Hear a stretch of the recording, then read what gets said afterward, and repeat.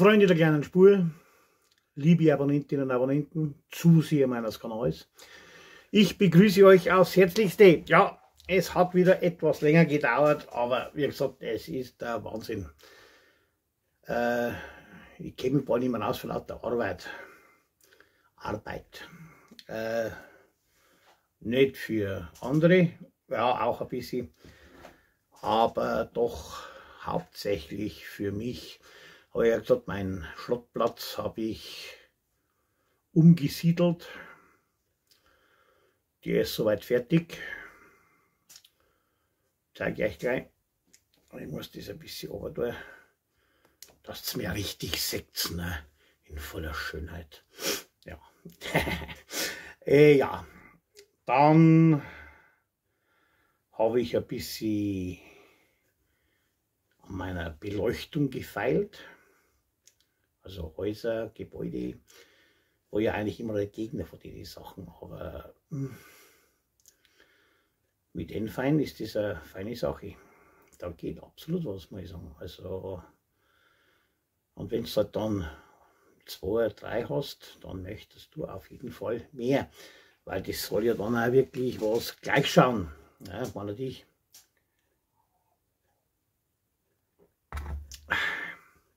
Ja, jetzt warte ich auf die nächste Lieferung. Da haben wieder ein paar Schmankerler dabei, Neuheiten.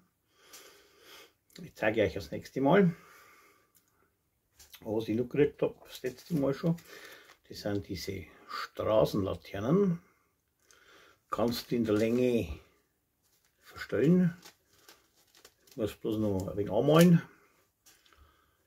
Und dann zusammenschließen, mit einem Dimmer versehen. Passt. Habe auch schon ein kleiner Ding, wo ich es hinmache, aber soweit bin ich noch nicht. Das dauert noch ein bisschen. Äh, ja, was ist noch passiert? Äh, eigentlich nichts. Das reicht eigentlich schon. Ja, ich habe wieder ein paar Menschen bemalt und ein bisschen sowas da, aber hauptsächlich bin ich gefahren. Das ist immer so der Stressabbau für mich, wenn mich die ganze Welt ärgert. Dann gehe ich in Keller, los mein Dreifon, drehe meine Musik auf und fahre, was das Zeug hält.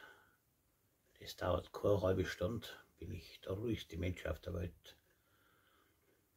Dann machen wir das Seidel Bier auf und schon geht es mir gut. Ja, das ist das Schöne an unserem Hobby. Dient wunderbar zum Stressabbau.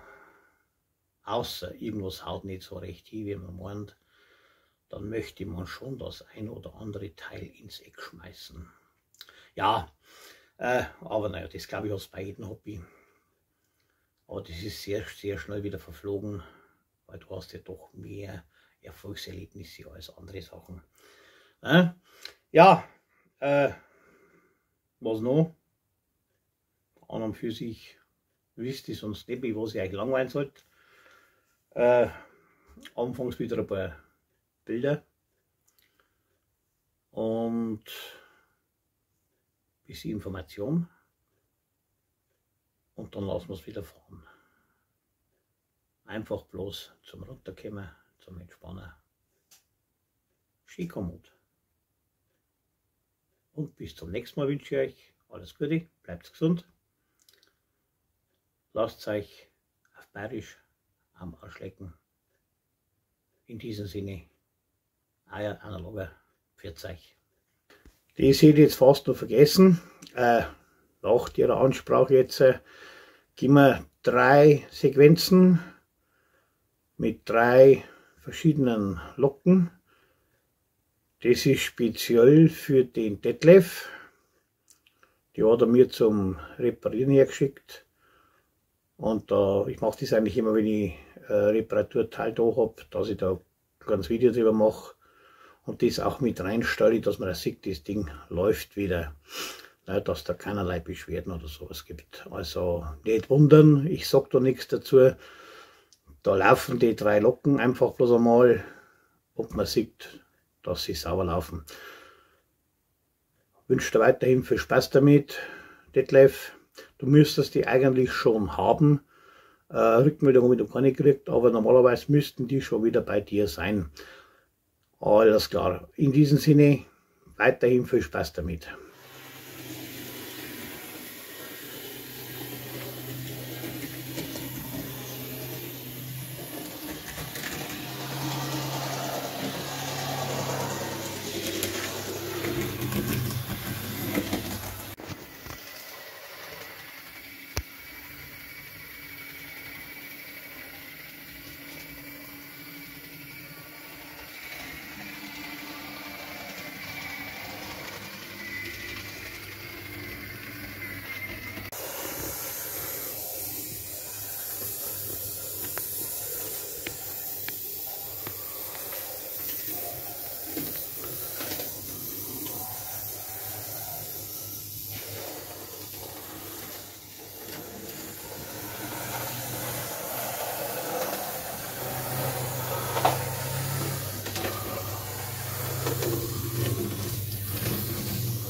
So, und dann haben wir mal einen Blick auf den neu gestalteten Schrottplatz. Eigentlich final fast fertig, würde ich sagen, bis auf ein paar Kleinigkeiten, aber Schrott fällt ja immer an. Ihr wisst das ja, ja aber ich finde, ja, man kann ihn an und für sich lassen. Ja. auch schon mit Beleuchtung. Ja, da zeige ich dann gleich noch was dazu. Dann haben wir unsere Schrottpresse. Wir haben einen Kran mit Magneten gebaut. Der Magnet ist ein Knopfzellen. Ja, also, äh, ja. Und dann haben wir natürlich dunkle Machenschaften am Werk. Schaut euch an, was die treiben, die Burschen ja, die Schrottplatzmafia, wie nicht spurt wird, entsorgt und verwürfelt. Genau so schaut es aus. Ja, jetzt wisst ihr auch, dass ich da am Kofferraum aufgeschnitten habe. Ja, jawohl. Da war auch nochmal was. Ja, da fällt jetzt noch ein kleiner Maschendrahtzaun. Ja, und dann ist es aber relativ, ja, möchte ich sagen, kann man gelten lassen fürs Erste. So, zur Beleuchtung, Moment, bin ich wieder. Ja, seht ihr, ich hoffe, ich bringe das jetzt ein wenig so hin. Ist also beleuchtet und dann habe ich da, ja, bitte scharf, ja, das ist ein sogenannter Dimmer. Und wenn ich jetzt das so hier sitze, kann man,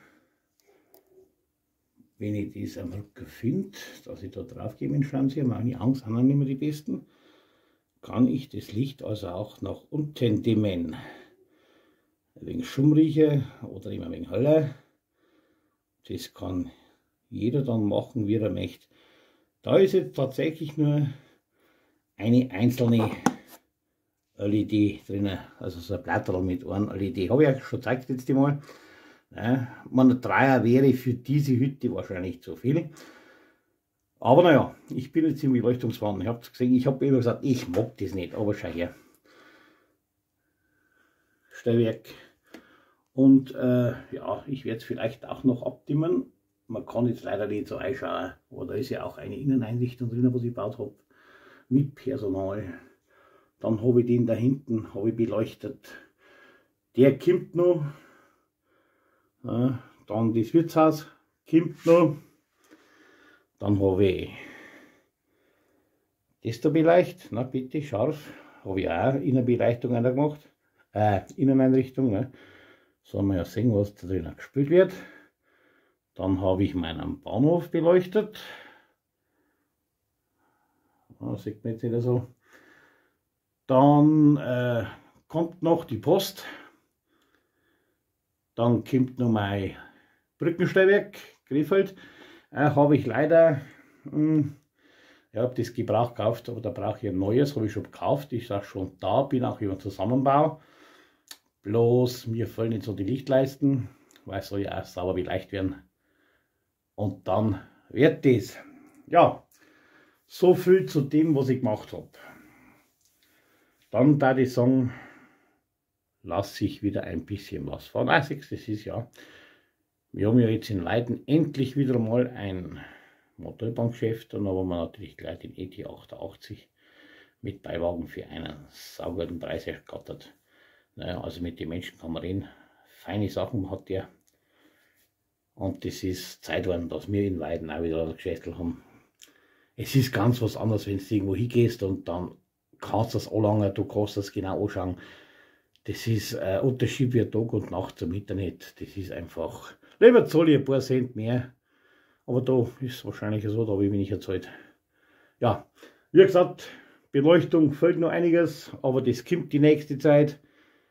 Ich bin ja trotz alledem voll im Stress, was Bahn angeht.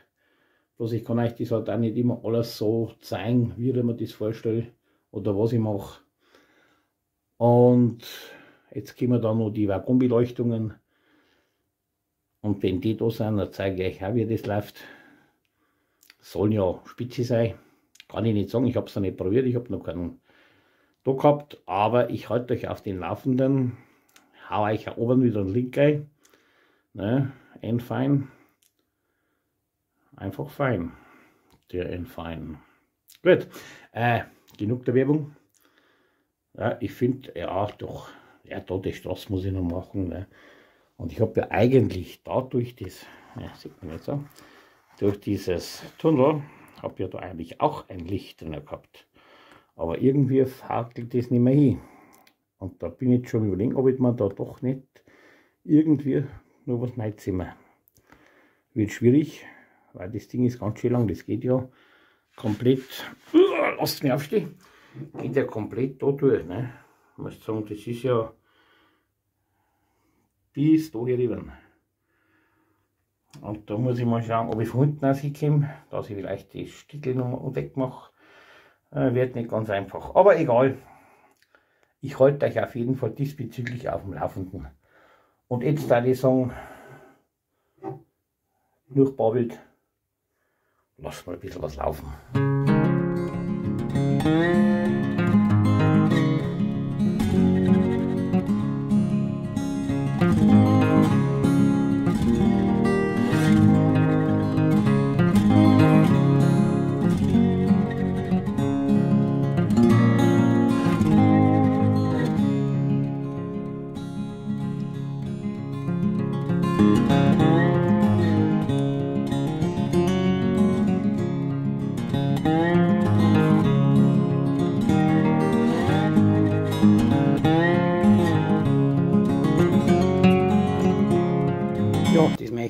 Zeigen.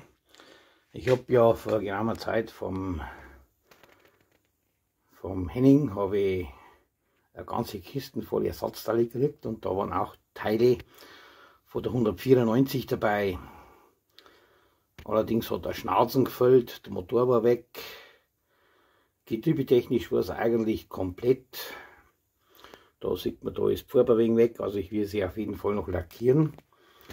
Hab dann von ein Fein, einer noch gekriegt. Für Arnold und habe den neu gebaut. Einen Glockenanker selbstverständlich. Und schaut es euch an, wie es läuft.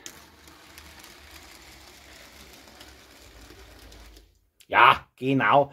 Ich muss an den Weichen irgendwas machen. Da ist ein kleines Puppel. Da hängt er mir. Warum weiß der Teufel? Da bleibt da nicht bloß sie stehen, da bleiben andere auch stehen ich muss da mal irgendwas machen. Entweder tue ich das ganze Zeug mal verlöten. Aber naja, sehen tut man nichts. Ich habe schon geschaut. Warum auch immer, er mag nicht. Also werde ich da irgendwas machen müssen. Mal schauen. Mir wird was einfallen. Gut, aber jetzt zur 194. Ich werde es umlackieren lassen. Aber schaut euch das an. Ja mit Glockenanker. Äh, so sauber. Oder nicht? Kein Vergleich zum alten Motor. Ich habe schon mal eine gehabt, ich weiß, das war ein rechter Rumpel, aber da ist das wirklich feine Sache. Ja, Rückgeschwindigkeit auch bergab wird es nicht merklich schneller und zieht da recht sauber weg, würde ich sagen. Also hätte ich nicht geglaubt. Für eine haftreifenlose Lok war recht gut. Aber ich war nicht einmal nur Zusatzgewicht drinnen. Ne?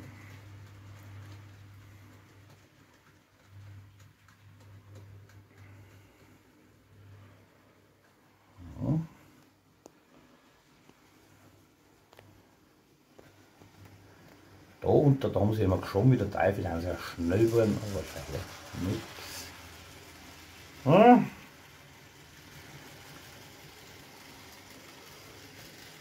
Freut mich. Wieder eine mehr. So weitergeht, muss ich doch noch bauen.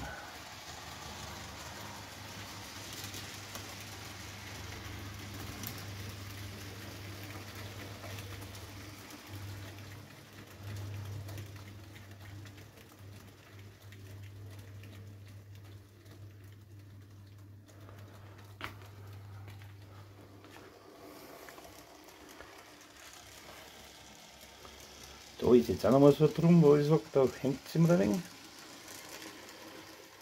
Ah nein, das schau hier.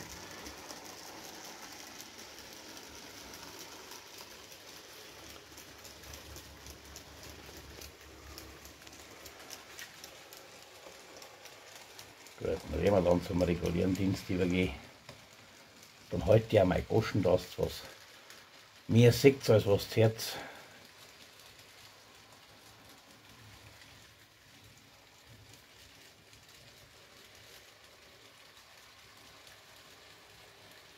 Aber ich sagen, für einen Analogbetrieb ist das eine recht feine Sache. Also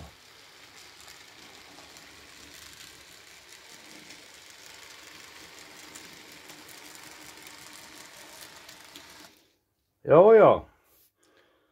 Und weiter geht's.